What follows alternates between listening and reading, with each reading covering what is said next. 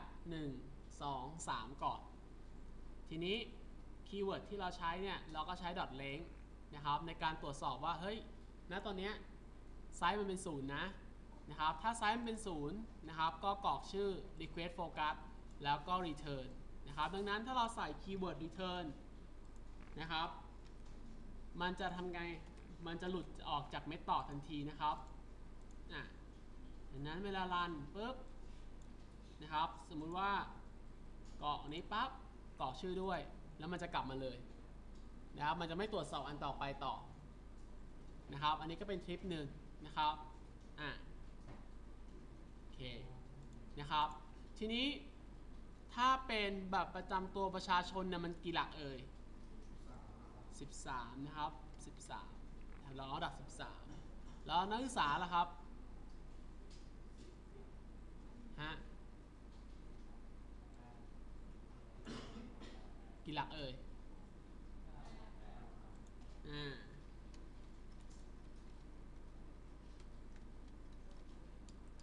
อ่าก็8หลัก13หลัก โอเค นะครับ ตัวนี้ก็ ถ้าไม่เท่ากับ8 13นะครับ อ่า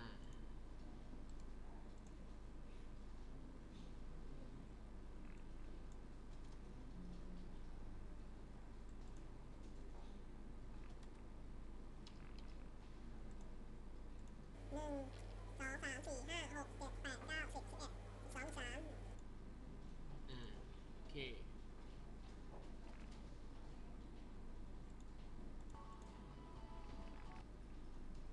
ถ้าเป็นสาขานะครับ ถ้า Index เป็นศูนย์เนี่ย ต้องเลือกสาขาด้วย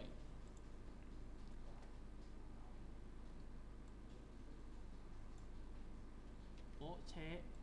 นะครับ อ่า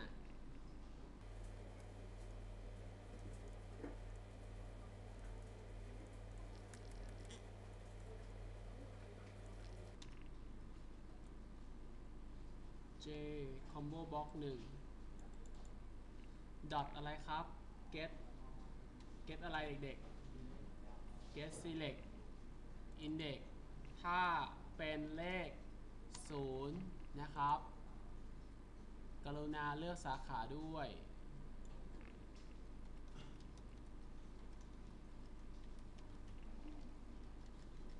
อ่า แบบนี้ เมื่อคุณทำเยอะ ๆ แล้วเนี่ย คุณจะรู้สึกว่าอีนี่เนี่ย มันทำความลำบากชีวิตมากเลยตอน test แต่ละครั้ง ใช่ไหมครับ ถ้าเรา test เนี่ย ตรงนี้ต้องกรอกทุกครั้งบ่อยๆมากเลย มีทางเลือก 2 วิธี วิธีแรกก็คือใส่ดัมมี่ข้อมูลไว้ครับนะครับว่าถ่ายใส่ข้อมูลในโน้ตแพดไว้แล้ว Copy ใส่เลยเพื่อความสะดวก หรือไม่ก็ทำไงครับ คอมเมนต์มันซะ มันจะเทสอย่างอื่นนี่นะครับ ก็คอมเมนต์มันซะนะครับ อะอย่างนี้ผมเลือกวิธีคอมเมนต์นะครับ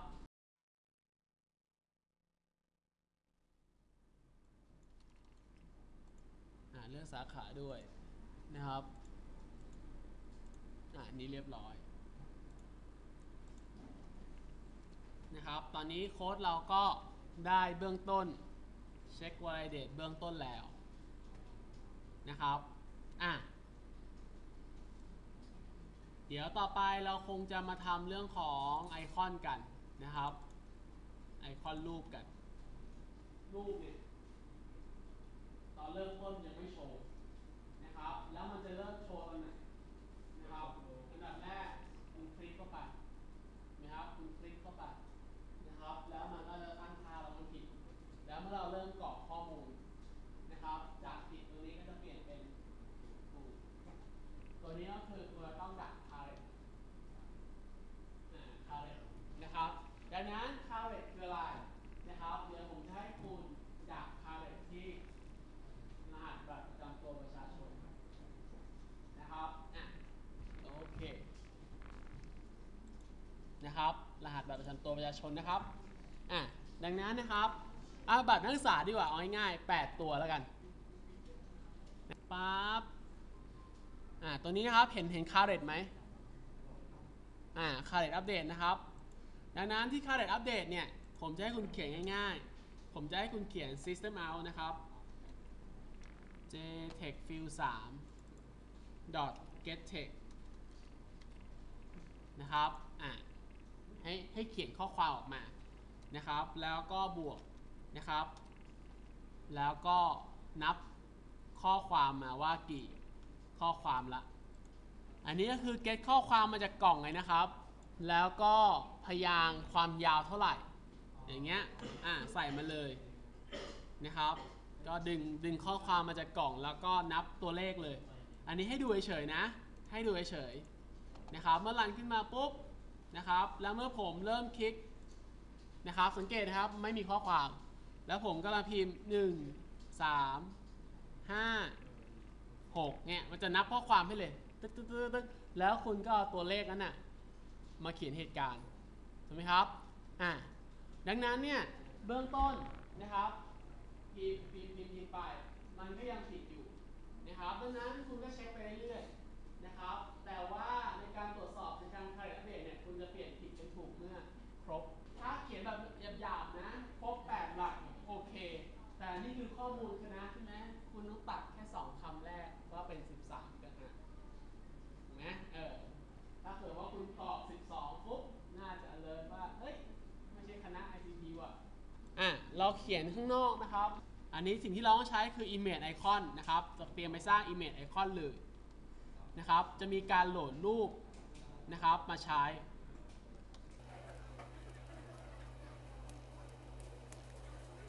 นะครับ ใช้ image icon มาช่วย แล้ว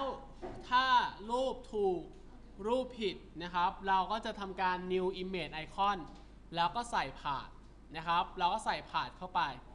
นะครับ เช่นนะครับณเคสนี้ถ้าพิมพ์ครบ 8 หลักนะครับ8หลักปุ๊บเราก็จะเปลี่ยนนะครับ ตรงนี้นะครับ if length เท่ากับเท่ากับ8คลิก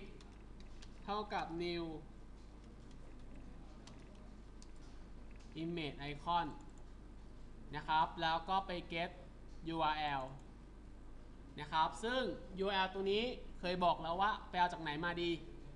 สมมุติว่าตรงนี้เราไปแกะผ่านมา แล้วเราก็ไปเซตตัวไหนครับ ไปเซตไอตัวนี้ ถูกไหมครับ ไปเซตตัวนี้ให้ไปโหลดรูปใหม่ chk อะ ตัวนี้นะ dot set ไอคอนแล้วก็ใส่ตรงนี้เข้าไปเว็บ ไปสร้าง reference ของ image icon ก่อนนะครับเดี๋ยวผมไปแกะ edit component หา source ก่อนอ get class get source นะ copy โชว์เชะ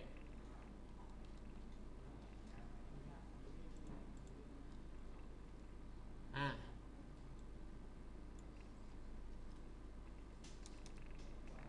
อะ รูปมันชื่อ true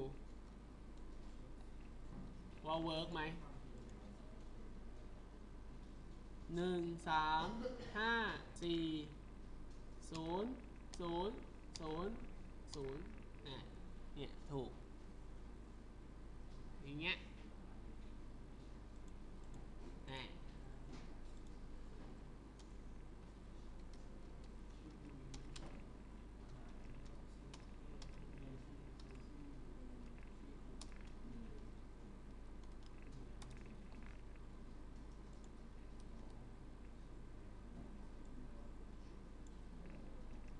เดี๋ยวมันจะ ชักยาวละ เดี๋ยวผมคงจะต้องเปลี่ยนก่อนนะครับ เปลี่ยนคำสักนิดนึง จะได้สั้นลง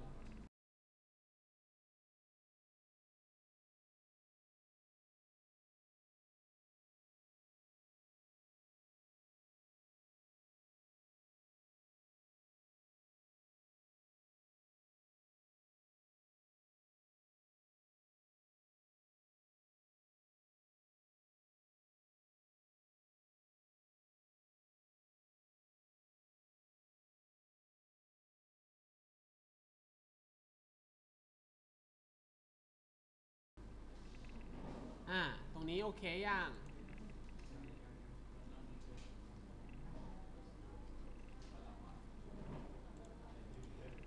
ครับอะเดี๋ยวใส่ให้ดูนะครับว่าในกรณี case error เนี่ยมันยังไงนะครับเนี่ยตรงนี้นะใส่ตรงนี้มานะครับรันโปรแกรมไม่มีปัญหาครับ แต่มันจะเป็นลักษณะของรันไทม์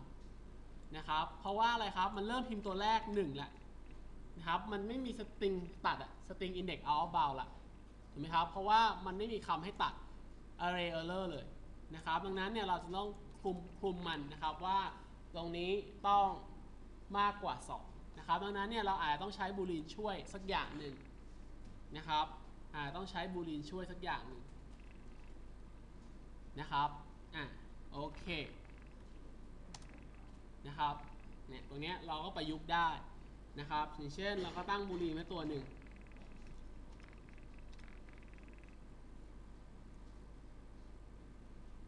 บู ลีนนะครับเมเจอร์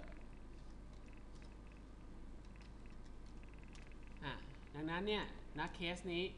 นะครับ เราค่อยปล่อย if 13เงี้ยเลขคณะแล้วก็ set major เป็น true อะนะครับ แล้วเราก็ใส่ and นะครับ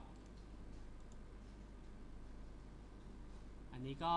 หวังว่าจะไม่ทำให้เครียดนะครับ อะหนึ่งสะหนึ่งสองห้าศูนย์ศูนย์ศูนย์ศูนย์ศูนย์อย่างเงี้ยสิบสามตัว เอ้ยหนึ่งสี่ห้าหกเจ็ดแปดอย่างเงี้ย ก็ยังไม่ถูกนะครับ แต่ถ้าเปลี่ยนตรงนี้เป็นสิบสาม ถูกทันที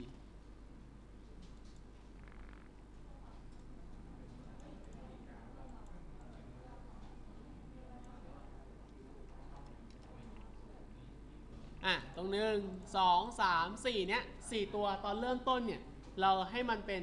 เงียบๆเป็นฟอลก่อนนะครับ เงียบๆเป็นฟอลก่อนนะครับ อะ โอเคนะครับ ผมก็เซตตรงนี้ตามเลยนะครับ เซต all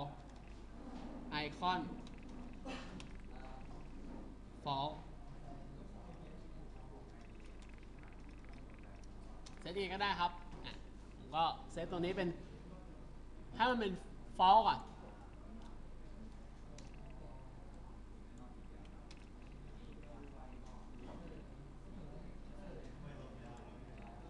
อะ ตรงนี้ แล้วเราก็เซตให้ไอคอนตรงนั้นน่ะเป็น visible true นะครับ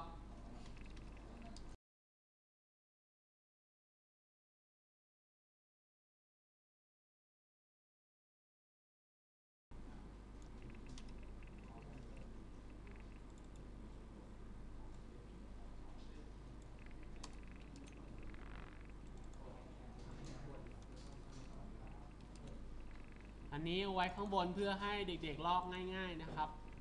ตอนเริ่มต้นเนี่ยมันก็มันก็มองไม่เห็นนะฮะอย่างนี้นะครับ แต่เราจะเริ่มปล่อยเมื่อไหร่ ก็คือ current update ทำงานเมื่อไหร่ คุณก็เริ่มปล่อยเมื่อนั้นนะครับ ประมาณนี้นะครับดังนั้นเมื่อ current update ตัวนี้นะครับปุ๊บปุ๊บปุ๊บ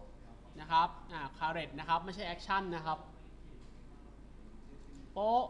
นะครับ ผมก็ปล่อยเลยครับ chk อ่า name dot set visible true อ่าแล้วก็เราก็ใช้อย่างนี้มาช่วยนะครับ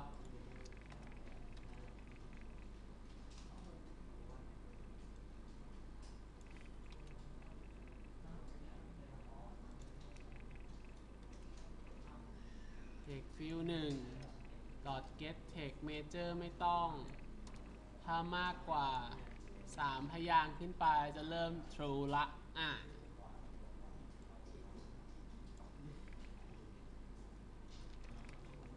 อย่างเงี้ยแล้วก็ไปหาความสอดคล้องเองนะครับ อย่างเริ่มต้น อย่างนี้ ไม่มีอะไร เราจะเริ่มพิมพ์นะครับเริ่มพิมพ์อ่าอ่าอย่างเงี้ย นะครับมันจะเริ่มถูกนะครับ ไม่คลิกก็ไม่รู้อะอ่าเริ่มคลิกปั๊บนะครับหนึ่งสามถ้าถ้าเราอยากจะเป็นแบบนี้ขึ้นนะครับ เราก็ใช้รูปแบบเดียวกันนะครับ set visible เป็น true อะกับอุปกรณ์ที่เราต้องการที่จะ detect นะครับปึ๊บ id อ่านะครับ เอามาเพิ่มอันนี้อ่นะครับ เอาเข้าใจลอจิกก่อนนะ เข้าใจลอจิกก่อนว่า เออ ตรงนี้มันยังไงนะครับ เพราะว่าผมมาทำกลับไปกลับมานี่แหละ แต่ว่าลอจิกเดียวกันนะครับ ผมทำแค่สองอันนะตรงนี้ ปึ๊บ เริ่มกดแล้วอ้าว อ่า